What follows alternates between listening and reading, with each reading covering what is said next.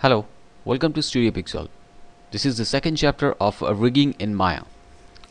Okay, so we have already discussed about the uh, creation of creation of the joints in uh, Autodesk Maya, and uh, as uh, I stated in the first chapter that we are going to jump into the uh, character rig, and uh, from the second chapter, and here we this is our character that we are going to rig, and in this chapter uh, we will see that how we can uh, create a bone structure within a uh, character.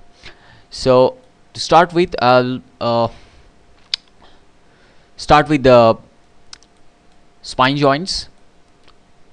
So this is the spine of the character and uh, there are uh, several ways to create the joints within the spines.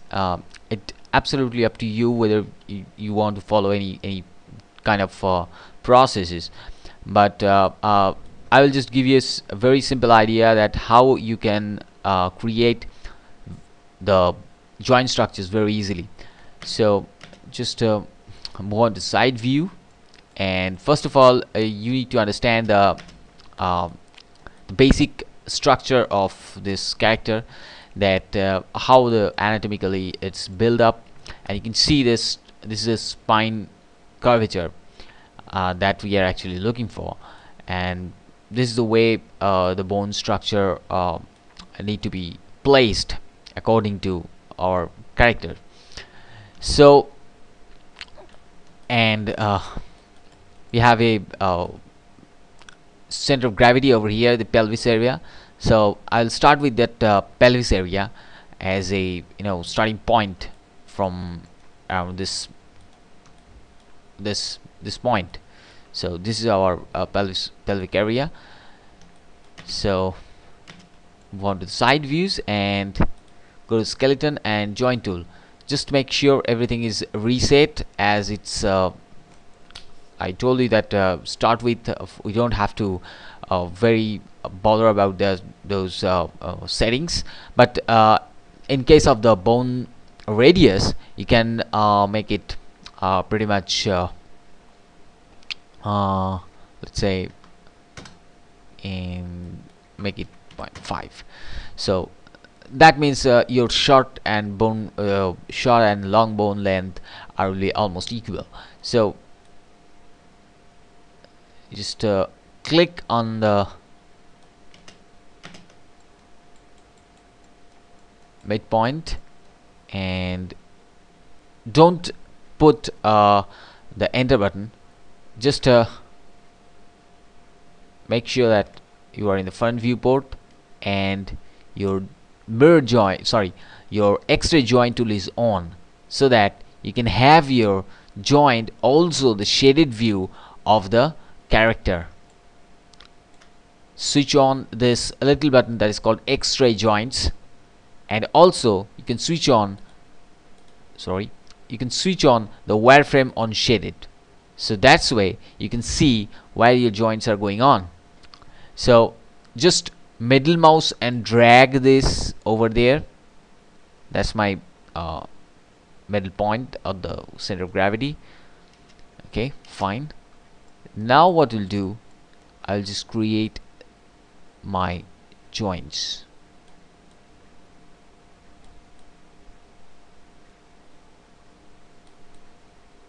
Now don't have to bother about uh, the structure of your joints or anything because anyway you are going to uh, use this or change this in a later stage. Like though I'm created like this way I can anytime change my joint positions or joint locations uh, anywhere I really want to. So select this and press D and you can change like this. Select and press D and you'll have your selection over the joints. And you can manually select any joint and you'll have your full control for movement without affecting the other joints just select the joints press D and there it is. Fine. Now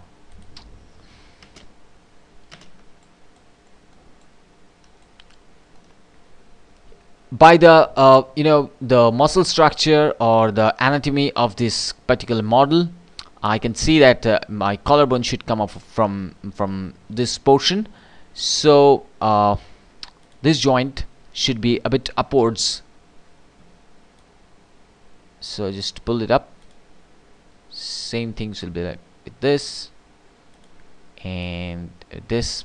Now now here you have to uh, decide how many uh, controllers you want to create within this uh, structure I mean the how many controllers you really want to have in your spine area one two or three or whatever it is. So here one single is the pelvis that is going on. One is the mid side of the character and another one is the chest and so on. So that's where uh, I have to rename my bone structure and just go to the attribute editor by control A and rename the joint names. Like this is a pelvis. This is really very important because this is gonna help you immensely on uh, you know in in case of uh, skinning. That's that's why and uh, you have to maintain this from the very beginning. Otherwise you're gonna forget it and at the time of skinning you will be nowhere so it will be complete mess. So to avoid that from the beginning just remember to rename those uh, joints according to your requirement or the joint naming naming convention that you have uh, set for your project. So this will be my spine 01 this will be my spine underscore 02 this will be spine underscore 03 so on. This joint needs to be a bit uh, upwards because this will be the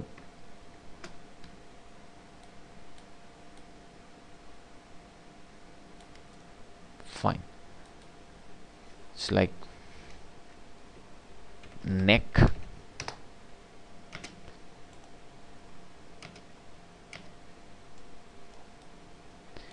now I want to add a joint. After that I need my one joint to be over here for head. So how can I do that? In the skeleton menu you can have an option that's called connect joint. Fine. But how can you add another joint